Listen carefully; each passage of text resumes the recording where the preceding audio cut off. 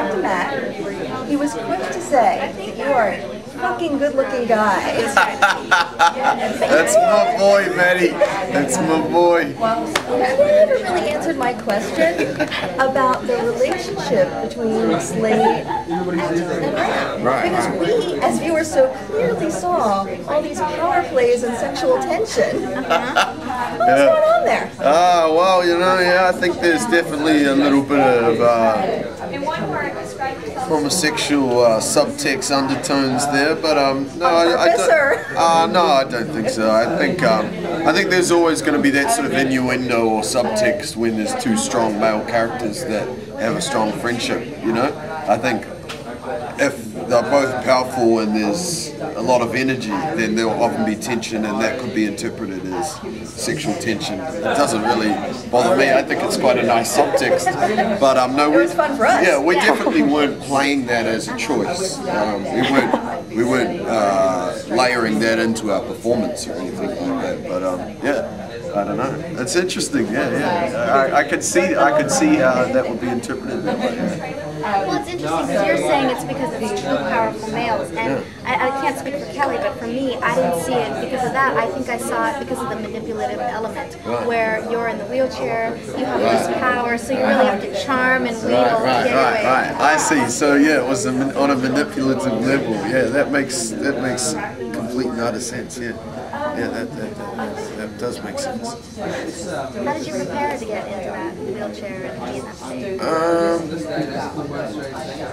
well, I just spent a lot of a lot of time in that wheelchair before I, we actually started shooting. I had it available to me for about a month before we started the shoot, and I just made it part of me. Really, I spent a lot of time just out in the car park at Bar Nine, just cruising around in it because I figured it was so exciting when I first got in the chair because I went straight away. Now as an actor, it's all from here up and it's all in my face, my hands and my voice. And so my hands became quite valuable to me as well, you know? And um, especially with the, you know, the black black gloves and that in series four in the early days it was like a lot of it was all just coming out here which made it made it quite fun. And that's so I, I, I almost made that as a point of focus initially. Just my hands as if as if they everything that I was saying was coming out through here. So that was quite a good preparation and um, yeah, so just spend a lot of time imagining that the frame size of the camera is just here, and anything down here is dead. You know? So that was that's quite an interesting exercise for preparation as well. Yeah, yeah, it was good. Was it always the intention for him to get out of the wheelchair? It wasn't. Really? No, it wasn't always the intention. It was something that I only read. We were at that stage. I'd heard murmurs of it at the start of series five. Yeah, Um, but of course, it was. I think to a point, it was a logistical thing as well. Once he moved Ram to Liberty, and once he was flying solo, um, away from the technos and stuff. There was no real way that he could be cruising around town in his um, electric wheelchair. You know, they could have put him in a manual chair or whatever. But I think part of it was the logistics, and it was, to be honest, not one of my favourite storylines that he got out of the chair. To be honest, I was kind of a bit bummed initially. It grew on me, and I accepted it, but I, I don't know, it's a bit far fetched for me honest. yeah, it's kind of like, well, what's that all about? Well, how was the physicality of like playing that learning to That walk again when you're so awesome. weak? Yeah, that was real fun, eh? That was, that was really fun. Yeah, I would have liked to have had a bit more time with that. We were quite rushed with shooting a lot of those scenes. But um, I haven't seen them. I don't think I've ever seen any of that stuff. Never seen it, so no. I don't know what it's like. Yeah, no, I remember shooting it, but I've never seen it. I hardly seen any of series five. You don't watch your own work? Uh, traditionally I do, but I just, um, like that stuff wasn't broadcast in New Zealand, and I just never went about fetching it out to, to look at it. I watched most of Series 4, um, but I'd hardly seen any of Series 5 yet. Yeah. And so I'd like to see some. Hopefully, you know how it might be able is, to get so. Yeah, that's right. That's right. Yeah. So what kind of critique do you give yourself now, being where you are, and then you went back and you watched it before? Yeah. Um, Well, I would like to think that I've grown a lot as an actor since then. I mean, I really fell into the deep end as an actor going onto the tribe. I'd never acted professionally before. I wasn't trained. I'd done TV presenting and had fallen into this drama that I was really learning on the on the on the job and on the fly. I think I must have had some sort of good natural instinct to be able to uh, to, get there, but I don't think I had much consistency in my work back in those days compared to now. I think um, hopefully I've learned and grown from. I've had a lot more experience since then, and I think I have the ability now to be able to pull on those emotions a lot easier than I did to, to be more consistent with my work. But you know, I still think that there's a few things that I, when I watched season four, that I liked, but not many. Yeah, I think, um, but I think that's natural. Most actors will cringe when they watch their own work.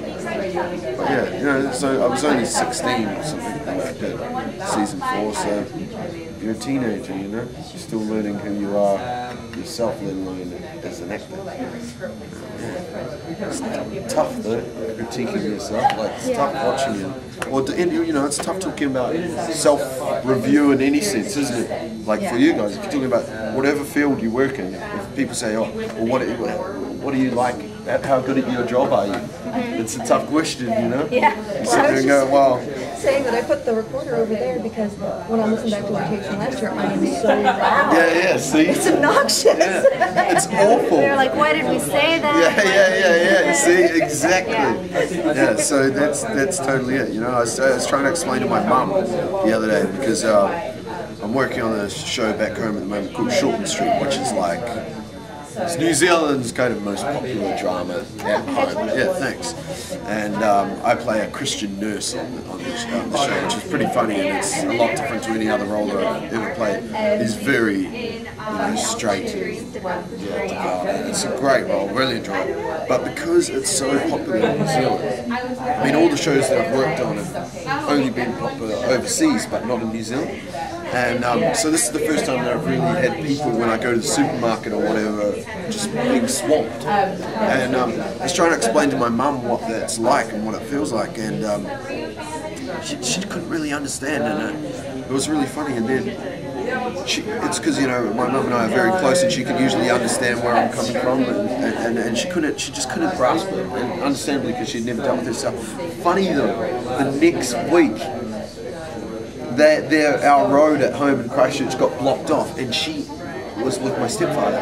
He ended up nutting out at the cops, like, uh, "What the fuck are you doing? You shouldn't have blocked up our road. Just get the hell out. Let us go back." And it was all they were being filmed the whole time, and then and they ended up on the cop show on the Sunday night. Oh, and, and it was so funny because mum rang me this straight away afterwards and she goes, baby, I understand. She was like, I've had people calling me up ever since I was on there and they've been hassling me and you know, I've had all these people coming out of the woodwork and I'm like, mum, welcome to my world, man. You know? And now she totally understood it. It was really, really, really, actually, even though I felt for her and I empathized for her situation, it was really refreshing because she had she understood my perspective, you know. Yeah, yeah. So that's, that's, that's I don't know how I ended up on that rant already.